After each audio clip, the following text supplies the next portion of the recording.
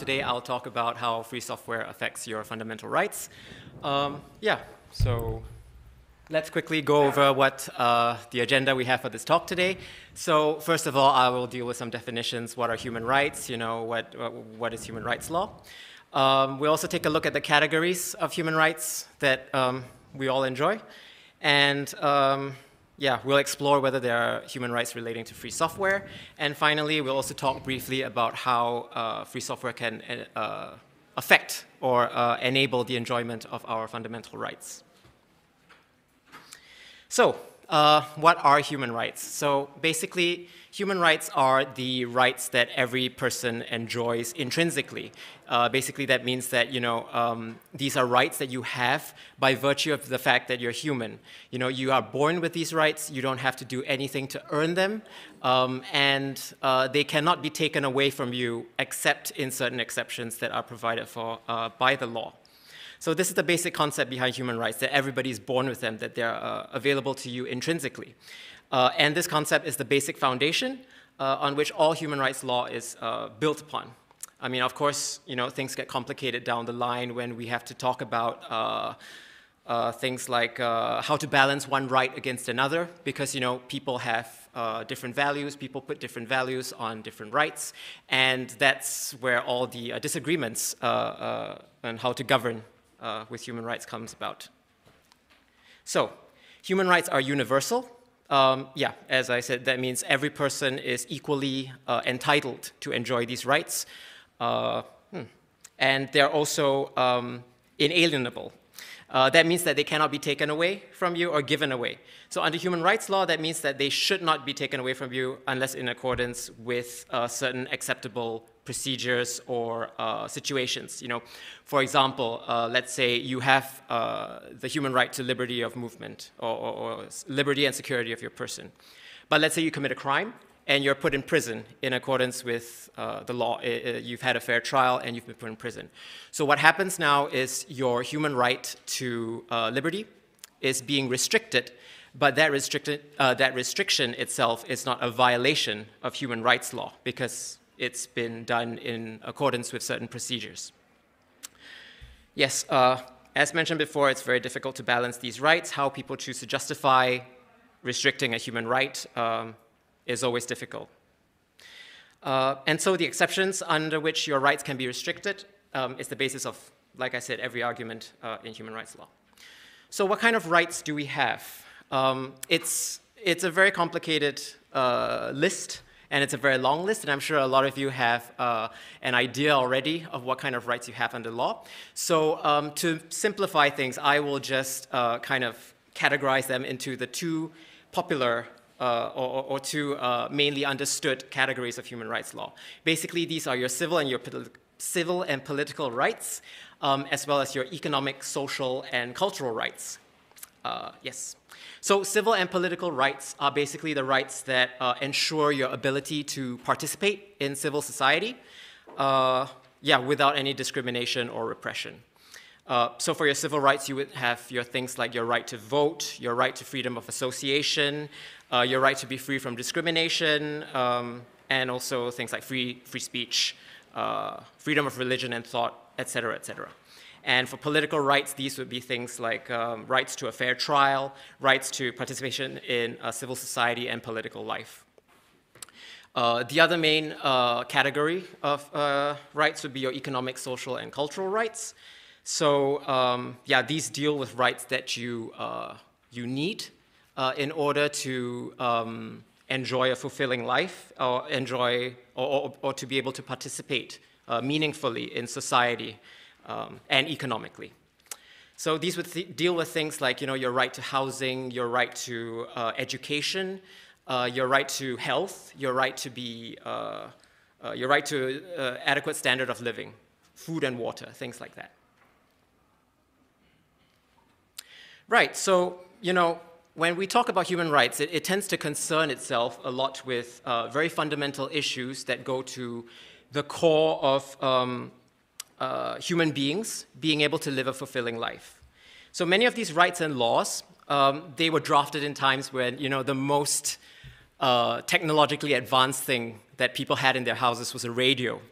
Uh, a lot of these human rights treaties were drafted after the Second World War, so um, the most important ones especially were drafted in 1962. Um, so I would say, you know, when these rights were kind of conceptualized, uh, they were done in a time where, you know, we had no idea, or, or humanity had no idea of uh, the influence that, you know, the internet, uh, digital technology, uh, software would have on our lives. Um, yeah, but I think that, you know, even as the world changes, uh, the core principles of what we as human beings uh, are entitled to enjoy in order to have a fulfilling life, they remain the same. And we just have to figure out how to protect these core principles while we deal with the new challenges that um, digital technology brings with it. Yeah, and I say this because you know a lot of modern life these days uh, across the world um, depend on software. I mean, um, I think gone are the days where we can say that uh, participation in digital um, in the digital space uh, access to internet, uh, that these are uh, a privilege enjoyed by the developed world. I mean, even today, we see now that you know, it, these are essential uh, things. The internet and software, these are essential things even in, the, even in the developing world.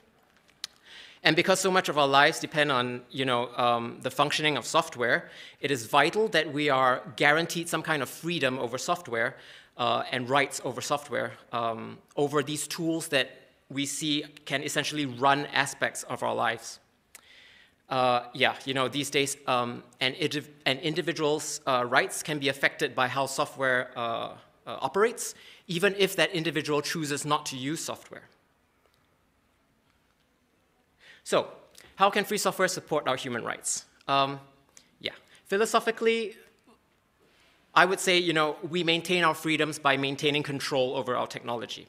You know, think of how pervasive software is in, in everyday life. We use it to work, we use it for entertainment, uh, we use it even in our homes for everyday chores. Uh, you have software in your microwave, you have software in your uh, washing machine these days, you know?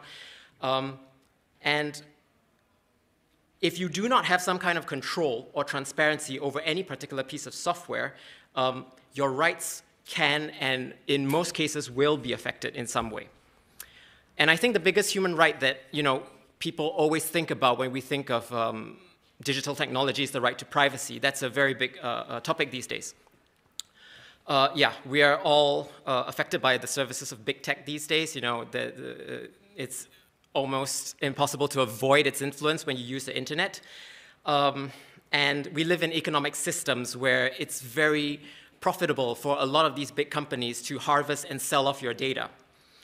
Um, and, and of course, these actions violate your, your rights to privacy in the process. And so when you use proprietary software, you always run the risk that your rights are uh, being forfeit in some way, especially the right to privacy. So if you use free software, how does that help with privacy then? So one major factor of uh, free software is uh, community management, community motivation, and dedication to ensure privacy. So we can see this happening in many uh, free software communities. I mean, one, one example is um, in the early 2010s, uh, you had the release of Ubuntu 12, 12.10, uh, um, which started establishing um, uh, certain internet connections for local searches to the uh, Amazon, to, to, display Amazon ads and also to share data with Facebook and Twitter um, just by virtue of using that operating system. And uh, the backlash from the community was immense because they could see these connections being made through the code. And um, it was such a massive uh, uh, backlash that Canonical, which is the company that uh, uh, develops Ubuntu, uh, they had to respond and they ended up removing online searches and the Amazon web app. And you know, more recently, the free software um, audio editor and recording uh, app, uh, uh Audacity, uh, they also received loads of backlash because uh, they proposed adopting telemetry um, via the implementation of Google Analytics and Yandex to its software. So yeah, the outcry from the uh, community was immense, and um, it eventually caused them to, to, to, renounce their plans to do so. So why is this relevant? You know, so if you have the freedom to use the to study and to use the source code and the freedom to improve on it, um, it means that the source code is decentralized and you do away with single points of failure uh, or massive data breaches. And you also have a larger community uh, acting as uh, kind of a watchdog over uh, the software, uh, over what the code can and cannot do uh, to its users to violate their, their, their rights to privacy. Um, and yeah, from these examples that I've raised, you know, what, you, what we can see is that real privacy solutions must start with free software. So another example, you know, think of your right to vote. Um, imagine if your country switches over from paper, paper voting to uh, uh, voting machines. Yeah, I mean, we just had we just saw an election in the United States where a lot of uh, uh states uh, used uh, voting machines to record votes from voters. So, would you be comfortable if you if you had the knowledge that these voting machines were being run on proprietary software, that you have no access to the source code and you can't see exactly what the code is doing to your vote. I mean, you have no um, kind of uh, ability to confirm whether or not the uh, machine is uh, intentionally or accidentally through uh, badly programmed code. You know, if it's actually changing your vote, if it's not recording your vote properly, or if it's not communicating your vote, you know, to a server where it's being counted, or etc. You know, what happens if something is written to, into the code to uh, discount your vote? In that case, your right to be heard as a, uh, a, private citizen voting is being taken away. So we need this transparency to pre preserve our trust in democratic processes. And if we don't get tra transparency in the software uh, that prepares uh, uh, that prepares and processes uh, these procedures in voting, um, then this can have negative social um, effects, and it can also uh, reduce the trust that the public has in the democratic process. And if you think about something more broad and general, you know, your right to be free from discrimination. So um, imagine if you live in Germany, as I do, uh, and you are applying for a job. So you start sending out your CV to uh, lots and lots of companies. Um, some big companies, they receive hundreds of CVs a day for various uh, job openings. So what they do is they, uh, they use software to sort through their CVs. Um, if they're using a proprietary software to do so, there's no way that you can be sure that they are discarding CVs that, for example, don't have a traditionally German-sounding name. Or, you know, it, this, this creates uncertainty in your mind about whether you are being rejected from the job because you are legitimately not qualified or because you know there is some discrimination against you going on. So yeah, with, without free software, there's no way that you can know for sure. Um, and there's no way that you can know if it's violating a fundamental right. With free software, if this is actually happening, you can hold them accountable for their actions and say, look, my rights are being violated, and I would like to uh, have this violation be rectified. So I'm coming to the end of my talk now. I'm running out of time. Um, our goal with the session is basically for you to uh, think about how software affects your fundamental rights and how control over technology uh, can help you to enjoy your rights as a whole.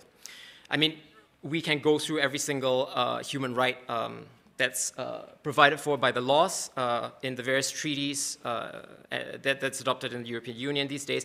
And I'm sure for uh, pretty much all of them, you can find a way in which software uh, affects it in a real uh, and practical manner. Um, and if software is such a widespread and compulsory tool in how we live our lives, then openness and transparency really is uh, essential to having positive outcomes to how it affects society uh, and in how we enjoy our human rights. And yeah, so on this note, as we go through this legal education track, um, I would like to ask all of you after today to think about your use of software, think about um, uh, free software, and yeah, basically how it supports your rights and maintain a democratic uh, and open society. Yeah, thank you very much.